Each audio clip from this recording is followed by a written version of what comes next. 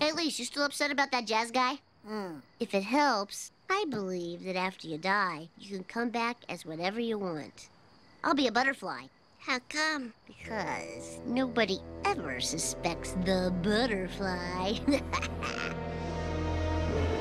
I didn't burn down the school. It was the butterfly, I tell you. The butterfly. He's crazy, boys. Get the taser.